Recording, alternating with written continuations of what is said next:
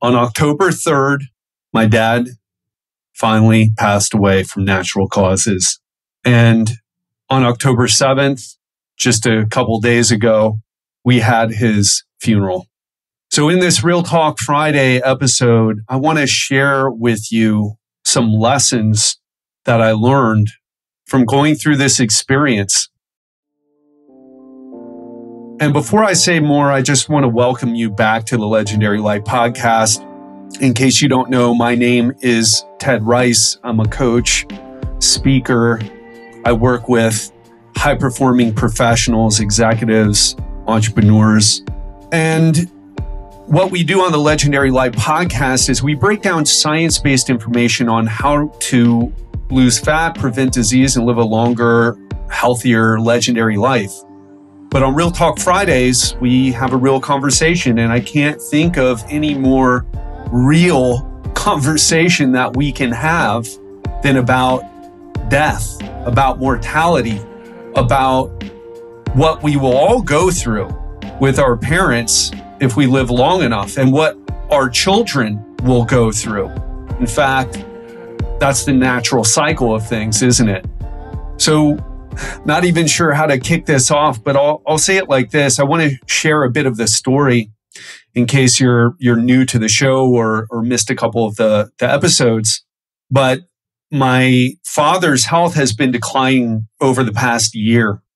I've been in Asia for two years and came back at the end of 2019 only to find him. I, I came back with all these hopes about taking a trip and, and doing some spending some quality time only to find that he was really in bad shape. He was strung out on opiates. He was uh, suffering from these blisters that would burst and cause ulcers on his legs. And he was getting nurses coming in, taking care of him. And instead of becoming about, Hey, dad, what are cool things we can do? Let's go to, let's go to eat at your favorite restaurant, Cobalt in the Vero Beach Hotel. I think it's called that anyway. Great restaurant, by the way, if you're ever in Vero Beach, Florida. And instead of it being about going out to eat, sharing meals, sharing conversations, planning trips together because our, our business, my business has finally taken off to the point where we could do those things. It became about focusing on his health. And I, I, spent a week with him, got things in order, then took off to Colombia, as many of you know, and spent from February 2nd, got there on my birthday until May 30th when I got a call from my father that he was in the emergency room and not doing well. Even in spite of all the team of people that were coming to his place every week to help him. I rushed home, rushed back to see him that day, was on a flight uh, within a few days, a humanitarian flight. He was in the hospital for a while, couldn't even visit him, but he came out and he, he was better. He went into a, a physical rehabilitation program after he was being treated for these these problems. Actually, uh, if you remember, he fell and spent nine hours on the ground.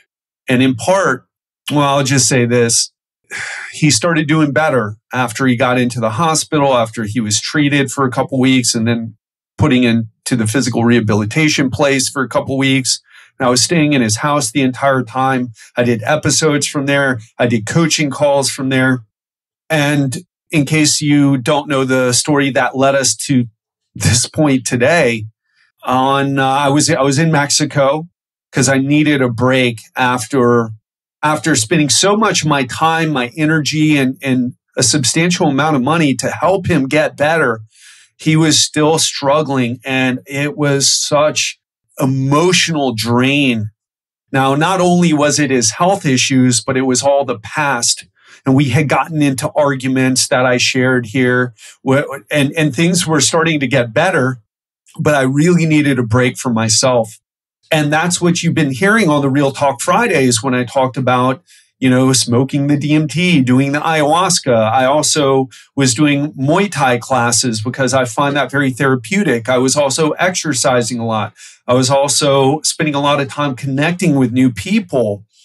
And I, I also did breathwork sessions with an incredible breathwork practitioner, not really sure what to call her, but named Sabine in Playa del Carmen, Mexico. And then I got another call.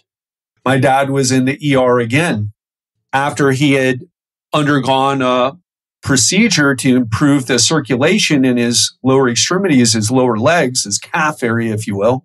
And I rushed home the very next day. I rushed home. I got a flight that night to be home the very next day, to be back to see him in Vero Beach the very next day. And I got there, spent a couple, you know, hours collecting myself, then went to the hospital and spent a good four hours with him. And the way they made it seem is that your dad is going to die and he's going to die in the hospital. Now, nobody told me this explicitly. This is what I had to gather because the communication from the medical professionals, from the nurses, the doctors up until that point had been pretty poor.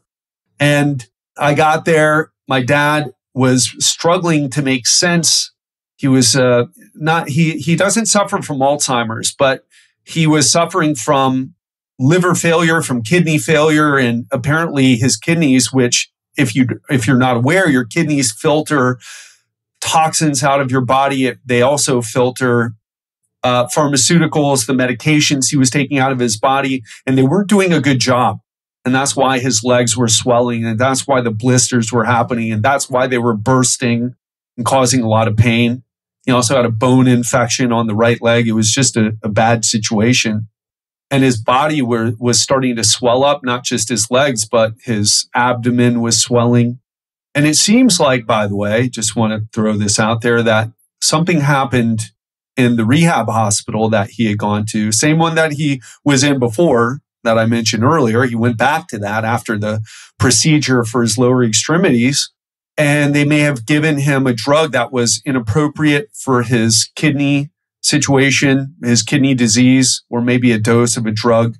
Looking into that to figure out what exactly happened, but couldn't focus on that because here, here we were in the hospital and, and back to what I was saying, he was having trouble understanding me and also speaking because it was just affecting his brain. The, the, the medications were affecting his brain. So it was affecting him cognitively. But I stayed there and I stayed there for hours with him. They were supposed to only allow me to visit once and for one hour because of the COVID situation. I don't need to tell you, we're all dealing with it in one way or another. Some of us more than others, depending on where we live. And I thought that was the last time I was going to see my dad. And we had the best conversations we could under, uh, under those circumstances. And then it started to become clear that that wasn't exactly the case. And I ended up speaking to his doctor and his doctor said, well, listen, we're planning on discharge, but it's, it's going to be a situation where he's going to have to get dialysis because his kidneys are no longer working. And if he doesn't do that, he's not going to last long. He's not going to be alive for long because you can't live without functioning kidneys. And obviously not a candidate for kidney donation, kidney. Oh, I can't even think of the word right now. It's not called organ replacement. Anyway, not a candidate for that. So he was either going to get dialysis, I'm going to continue this treatment, this dialysis until the end of his days, if it even worked for him, which wasn't even clear. And they let me back in the hospital. We had some conversations and my dad, the, the reasoning was the way they explained it was that if your dad only had the liver, I'm sorry, the kidney issues, maybe that dialysis, maybe you could make an argument for it, but he was in severe chronic pain because of arthritis. He was in pain in his back and his knee. Uh, he had a bone infection on his right leg. And if he was going to live, he would live in a hospital bed, whether that's in the hospital or whether that's at home, but he was never going to walk again. He had lost so much muscle. He had lost so much strength. Recovery at that point was just, it just wasn't going to be possible. And undergoing the dialysis three times a week although it's a 15 minute procedure and it's not painful per se, but it takes a lot out of you, is what they said. So we had a talk about what he wanted to do, and my dad was done. He had been suffering enough. He had suffered a lot in life with the loss of my brother who was kidnapped and murdered, his wife, my stepmother who died of a heart attack, and my sister who committed suicide. He had suffered a lot in life. He had had colon cancer earlier in life before Jim, my, my younger, my youngest or younger brother, uh, before that tragedy and, um, was a workaholic and alcoholic, which brings me to my first lesson, which is health is the greatest wealth. Such a cliche and like, yeah, yeah, yeah, for sure. But I feel that now. I saw it in action. I saw my mortality. I saw where I could end up if I didn't, even with all the exercise that I do now, if I don't change my ways and start to handle my health in a, a more proactive way. My dad got to the point where he could continue to live, but didn't want to because of the amount of issues he, he had, the amount of chronic diseases. It was liver disease, congestive heart failure, kidney disease, osteoarthritis, a bone infection, no quality of life. And if you are like me and you look at how long we live these days and you see like uh, there's a good chance of us making it into the 80s or 90s or, you know, even beyond that. I've had longevity experts talk about how 100 or 120 is, you know, that's something that's totally doable. But the question that we don't ask enough is, are we going to get there? Are we going to be with, with, with able to enjoy life, able to do the things that we want to play with our children or grandchildren, probably at that point, probably not playing with your children anymore. If you're 80 years old, your 40 or 50 year old children might not be up for that. Uh, but are you going to be a contributing member to your family? Are you going to be able to enjoy your life? Because if you don't have your health, you have nothing. And if you're trading it right now so that you can make more money in the hopes that when you're in your 50s, 60s, 70s, you'll really start to start to focus on it, it's going to be too late. There's a good chance it'll be too late. It's a good chance that you'll have a chronic condition. There's a good chance that if you're like, okay, well, now I'm going to start to take things seriously.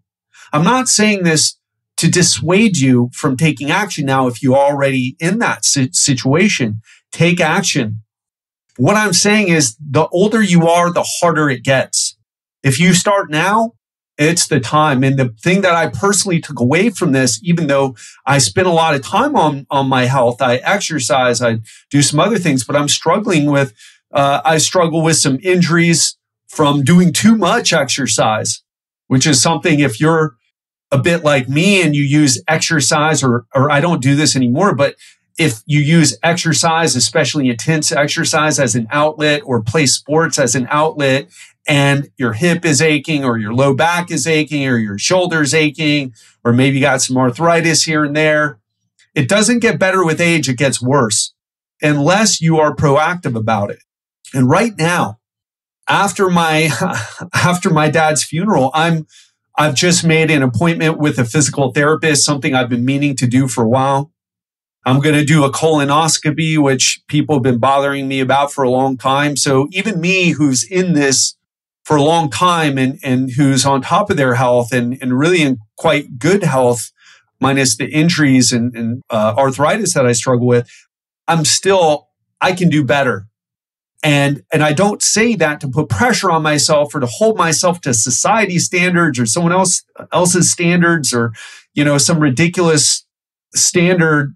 It, it simply comes down to this. If I don't do it, I see that the chronic the, the issues that I have now are going to become such a problem that they're going to stop me from doing the things that I want to keep doing in my life. Traveling, connecting with others, chronic pain. If you're dealing with it through whatever, for whatever reason, it's such a common cause of disability.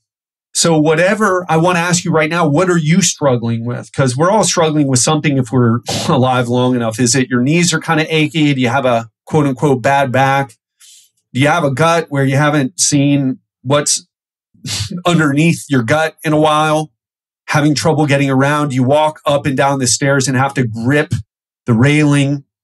Are you diabetic or pre-diabetic? Are your cholesterol out of uh, levels out of whack? What are you struggling with? Because those things that you're struggling with right now, they're going to get worse. The reality is that we all die, but some of us die in truly horrific fashion. My dad died in a hospice bed in pain, physically, mental anguish, which brings me to my second lesson here, which is, yeah, you've got one chance to do life right. And I want to ask you, are you doing life right? And not by right by me or someone else's standards or your parents' standards or society's standards, but by your standards. Are you doing your best? And if the answer is yes, because you're in such a down and out position, you really need help to do better, cool. But if you're making, if you're middle class and up, are you living the life where you wake up to go to work, you sit in your job 40 hours a week, staring at a computer screen or something similar, working in a business, working for someone, even if owning a business. And I would ask you, do you, uh, you know, coming home from that, eating food and watching movies, not even going out to the movies these days, but binge watching Netflix series or Amazon or even, you know, been watching a series on Apple TV. There's nothing wrong with any of that. It's just, are you really living life? Are you, if you died tomorrow, could you on your deathbed look back at what you've done with your relationships in your life, with your partner, your husband, wife, whatever, boyfriend, girlfriend, your relationships with your children, your relationships with your parents, if they're still alive. Are you doing it right?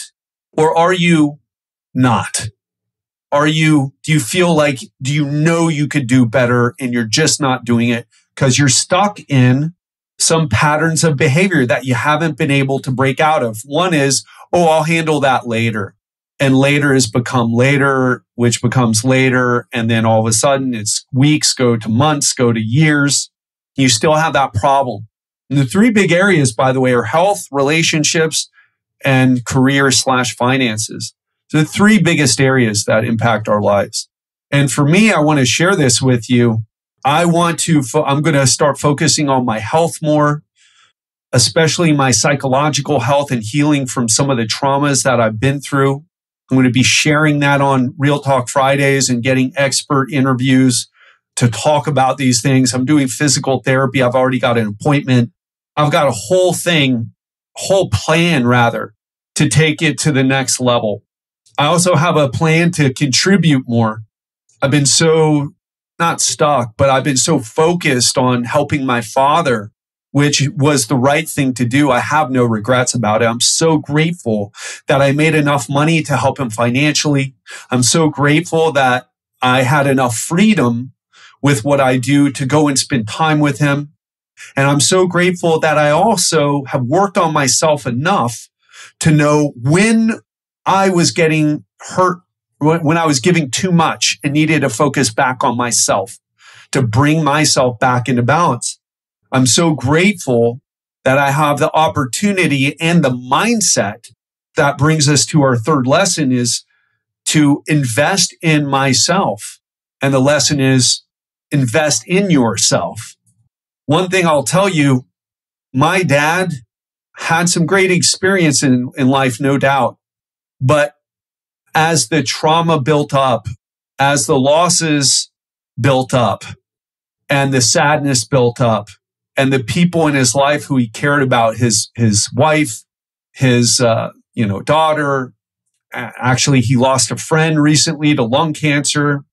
As the people started going away in his life he started to invest in more in buying things instead of experiences instead of healing. And the truth about his situation is this. He couldn't have done better he did his best. He really did. And on his hospital bed, almost his deathbed. He said, I should have been stronger. I wish I was stronger. I should have been stronger. And I said, Dad, you're strong as fuck. Strength was never an issue for you. Look at what you've accomplished with, uh, in case you don't know, my parents, after my brother was kidnapped and murdered, started the Jimmy Ryce Center, which donates bloodhounds to law enforcement officers, law enforcement um, uh, don't, departments, I guess. And I met so many of them at his funeral. They brought the dogs and everything. It was incredible meeting those people, those officers that uh, are a new type of officer, really. They're not just about catching bad guys, but finding good ones who go missing. Such a great organization, one that I'm going to help keep going. But the issue was that he didn't invest in, self, in, himself enough. One of the things that we realized towards the end is like, Dad, you need some therapy. It's like you know you should take better care of your health, but you're not doing it. And if you can't do it on your own, that means you need to ask for help. It's a psychological problem. And I would say this to you. So many of us, we think, oh, well, I'm going to just tough this out. It's a wrong way of doing it, guys. I'm not going to sugarcoat it. It's the bullshit way of doing it. I don't need therapy. I've got this. Okay. Then why are you in debt? Why are you overweight? Why, why do you show up to your in your family and you feel like you can't connect with other people because of what you've been through, because of a trauma you've been through. It's bullshit. Let's be honest and judge on results. And so many of us, what we do instead of investing in healing from trauma, instead of investing in working with someone to help us with our health, instead of investing in marriage counseling, instead of those things, what will, what will we do? Let's buy a new car and you get so excited about buying the car. You do your research. You look for the best deal, finally get it. So amazing, except it goes away because you don't really give a fuck about the new car that much. And guess what? Nobody cares either. Doesn't matter. Even if you're driving the newest Ferrari, nobody really cares that much. And you, the, the truth about that, by the way, I've, I've worked with a lot of people who drove very expensive cars I took a ride in an $8 million Ferrari, 1969 Ferrari, an antique Ferrari. Guess what? It's just a car. Actually, it wasn't even that, wasn't even that comfortable one. Same guy also had the new Ferrari, the Spider or whatever the hell it was. And it's nice, but it's just a car. You get in it, it's fun, then you get out. And I'm not saying don't buy cars don't buy nice cars or if you like nice cars that that's an issue what i'm saying is material things whether it's a nice car whether it's a house whether it's clothes whether it's a watch whether it's a purse whether it's shoes it never gives us the big emotional payoff that we're looking for that so many of us are looking for yeah you get a compliment here and there but it's really just bullshit it's bullshit i lived it I've seen other people live it at a high level buy a, you know, hundred thousand dollar piece of art. Okay, cool. It's just another piece of art in your house. Maybe if there's a story of adventure behind it and experience behind it, but if all you did was get your ass up, go to Art Basel in Miami Beach, look around for a few moments, say, oh, that would look nice, and write a check or whatever, use your Black American Express card, whatever, however you might roll, really doesn't fucking matter It's just another thing. And I was reminded of this as I'm cleaning out my dad's place. That some of the one thing that you really don't get to, that nobody really tells you about, but you got to clean up all the shit from someone who dies. If it's your parents. Now I don't have to, I guess I could have just left it there, but it's a responsibility and some things, you know, I needed his documents and I wanted to give away some of this stuff, but he had a bunch of wallets. He had a bunch of computers. He had way more than he needed. And it was so obvious what he was doing was trying to buy happiness. Oh, I'll just buy this thing. It'll make me bring me some happiness. And I used to be that way. And I've told this story when I was in Miami Beach, I really wanted more respect from other people. So I invested in my style. I, I was wearing the, you know, $300 jeans and the $200 shorts and the, you know, $200 shoes or even more. I, I've, I have thousands of dollars. So funny. One of the things that I've been going through recently is all my wardrobe from Miami Beach, thousands of dollars worth of clothes, worth of shoes, couple leather jackets that I can't even really even wear very often here in Miami or South Florida in general. It hardly ever gets cold. And it was me trying to become cooler, me trying to invest in happiness, trying to improve my experience. Do you resonate with that at all? Do you do a little bit of it? Of course you do if you're American. Probably do a lot of it. But the, at the end of the day, nobody really cares. Oh, you look a little nicer, but how do you feel on the inside? And that's why I'm, I'm a minimalist now. I mean, I'm interested in, in buying things and having a place and buying things to, to put in that place. But even more important right now is the experiences because experiences change us as a person. When I do therapy and I invest money in that, I'm investing money in myself. When I invest in physical therapy, I'm investing money in myself. When I invest in travel, not going to some all inclusive resort where I just stay trashed the entire time, like I might have done in my 20s or early 30s. But when I go and travel and experience the culture, take in the culture, meet the people, see the history, it changes me as a person. And which brings me to my fourth lesson, which is the only way to change others is by changing yourself. And I want to ask you right now, are you a person who's looking around and pointing the finger? Oh, it's Trump that's created this problem. Oh, it's the left that's created this problem. Oh, it's Biden that's created this problem. Oh, it's my wife that's created my, you know, the issues in my life. It's my husband that's created the issues in my life. It's my parents that have created the issues in my life. It's the, it's my children that are creating so much stress for me. It's my coworkers. It's my boss. It's my employees. And you want them to change because you know if they would change, your experience would be different. However, the truth is this. You can't sit down and explain someone their behavior and expect them to change no more than you can listen to this podcast and have a transformation in your life by listening to an episode.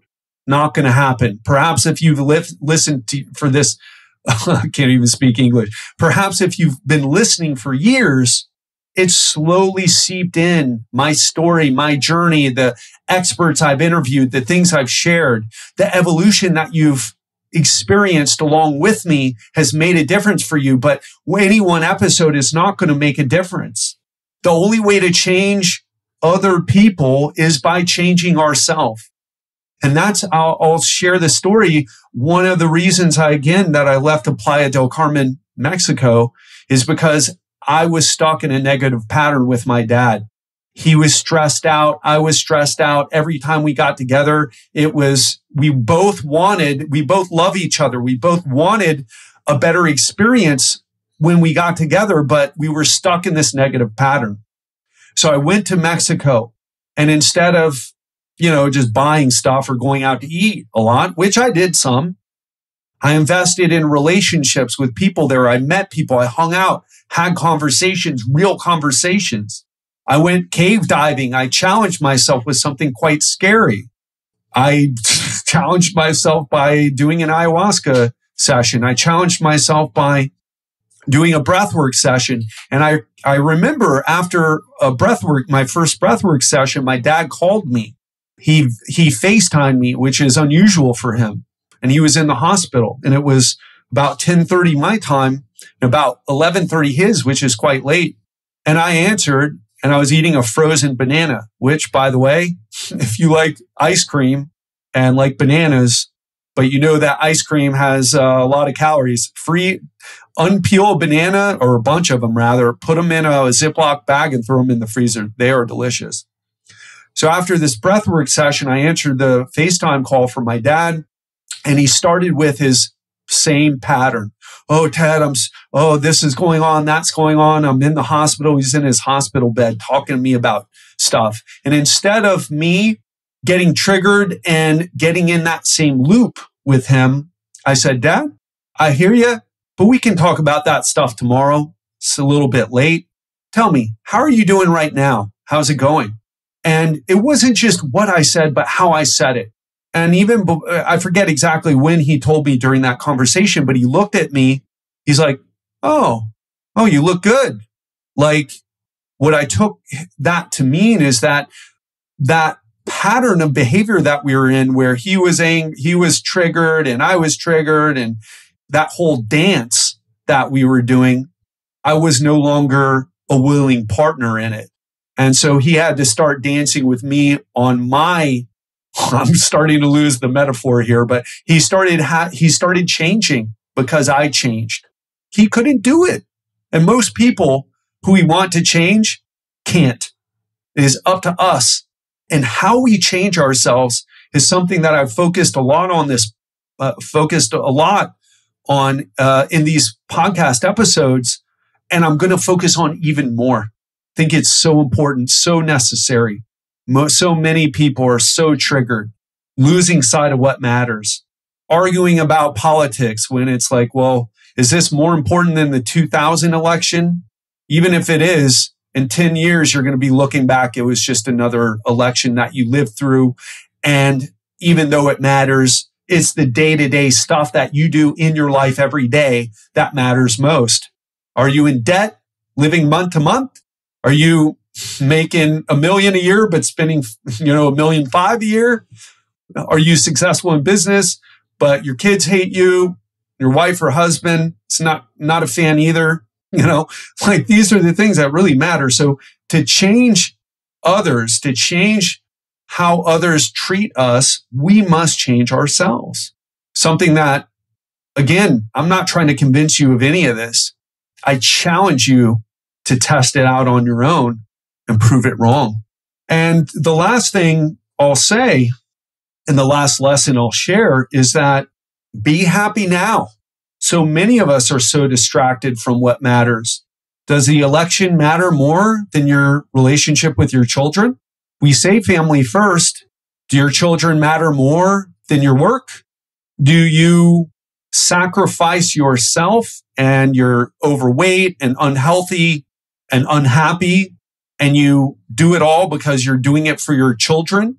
But what your children really need and what your children really get is they don't see your sacrifice. What they see is a person who doesn't value themselves. And that's what they end up copying or that's what they end up having working against later on in life.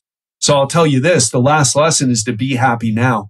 There's a great quote by a Tibetan Buddhist monk or nun. Not quite sure at the moment. Don't remember. Her name's Pema Chodron. And what she said was, if death is certain, but the time of death is uncertain, and you know, for us, what's really important now? And these are just words and it sounds clever, sounds right, but I got to experience this with my father.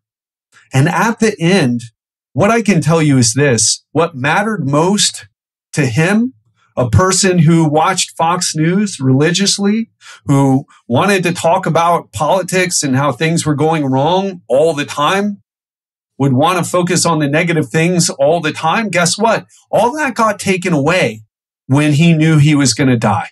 What was most important to him is spending time with me, that I showed up for him in his last moments, that I did my mo- best to help him financially, time wise.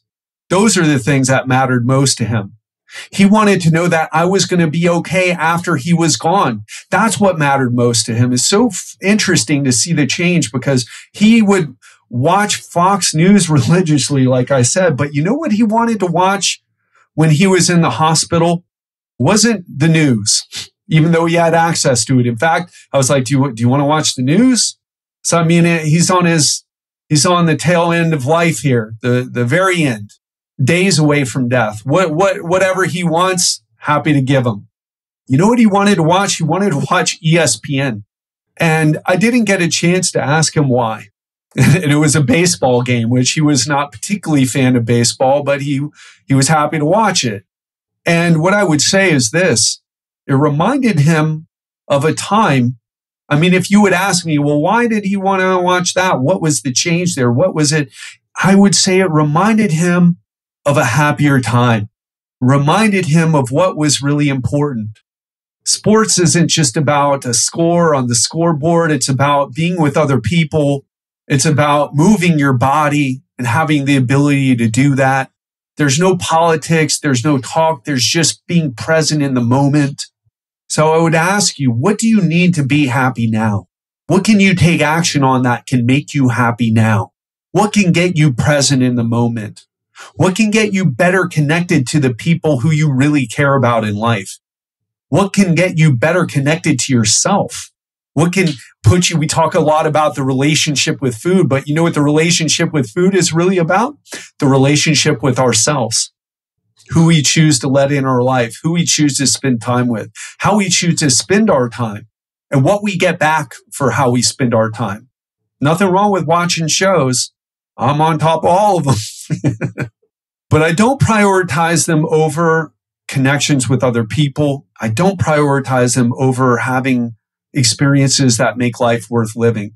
My dad didn't talk about, hey, you know, I'm really glad I watched those series. He didn't mention any series. He didn't mention the politics. It was just talking about him, talking about life, talking about the people in his life, seeing who would really show up for him at the end. It was about his career. He was super passionate about his career and doing well by the people who hired him. He was very grateful to do the work as an arbitrator after he stopped practicing law.